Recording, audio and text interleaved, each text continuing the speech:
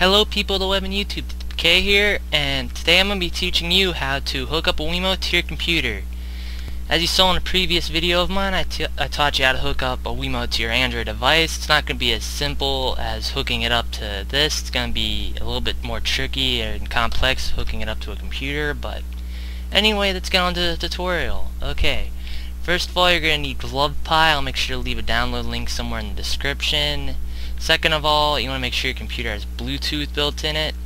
And if it doesn't, like mine doesn't, you have to buy a dongle, hook it up, install the software, and once everything's running, go in, make sure your Bluetooth's on, right click it, or, and hit add a Bluetooth device.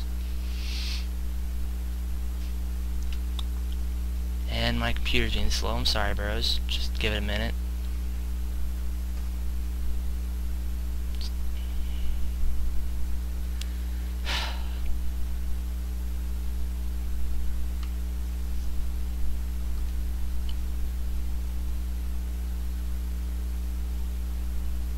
I'm just gonna turn off Rainmeter here. So I have a feeling it's not working because of that.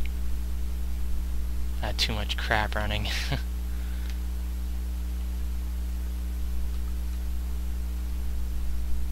okay, there it is. Um, what you want to do is you want to click on My Device is Set Up and Ready to Use, then push 1 and 2 on your Wiimote simultaneously till the lights blink. Hit Next, it should start scanning for devices and it will be called the one Nintendo RVL or something. It should be pretty noticeable and obvious when you see it. And just periodically keep clicking on it if it's taking a while. These will stop blinking after a while. As you can see it went off right there. Make sure you hit that, hit next,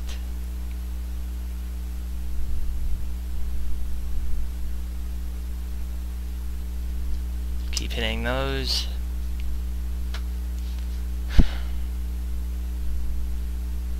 Okay, make sure you don't use a pass key, and before you go on, make sure the lights are blinking, because this is where it actually installs the driver software, which is needed for this to work. So hit next, and uh, give it a minute or two, especially when my computer's being really slow. Hopefully this will work on the first try. You should get a little notification down here in the corner about it installing the Bluetooth peripheral or HID or something whatever it's called. But if you don't get that most likely it didn't install the driver software and your thing timed out. Okay once that's done hit finished you can close out of that. And once you want to do from there is you want to make sure you have um, GlovePie open, right? And you can either program your own script by hitting GUI and coding the keys manually, or you can go in and load your own. In my case, I'm going to load my own, and and perhaps in another video, I'll teach you how to make your own Wiimote script. But for now, I'm just going to be using a built-in one, or one I got online. I really don't know where I got this one. Motion mouse.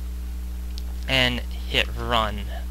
As you can see, my Wiimote is hooked up. I can play games with this. I can program every button to do whatever I want.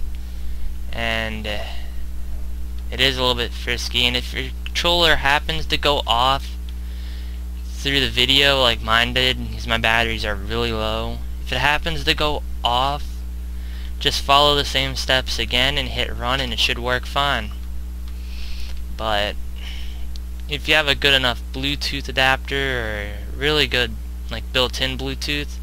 You can just push 1 and 2 and sometimes it'll reinstall automatically and you won't have to fuss through all them steps. But on my computer you have to hit these and you have to go through all the steps again.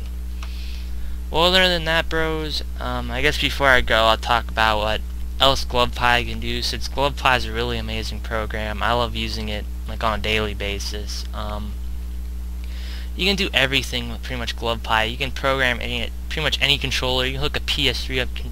yeah, if I can talk.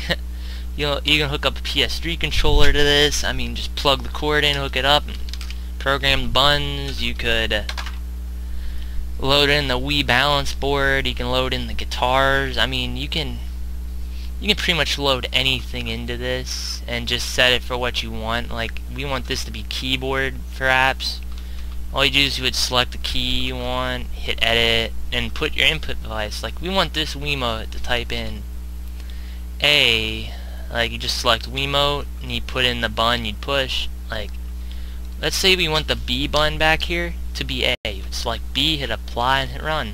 That's how simple this program is. I mean, I use it for everything, like, no lie, I'll be recording my videos, I'll have this set up, and I'll go and enable the camera, disable the camera, just like that. It's, it's a versatile program, um, like, I believe now in the new update they just recently had, um, you can hook up a Kinect and actually do motion commands, which I have no clue how it works, because I can't load the driver software and use that. That's why I'm a version lower in GlovePie. Uh, just, yeah. Other than that, bros, even if you don't want to hook a Wiimote up to your computer, I recommend this program for you. Just give it a shot, try it with whatever you got, and if you like it, make sure to support these guys, and hopefully they'll come out with some more and better software soon. Well, other than that, bros, it's pretty much it for my tutorial and review of GlovePie. So, DTK signing off. I'll see you guys in the next video. Peace.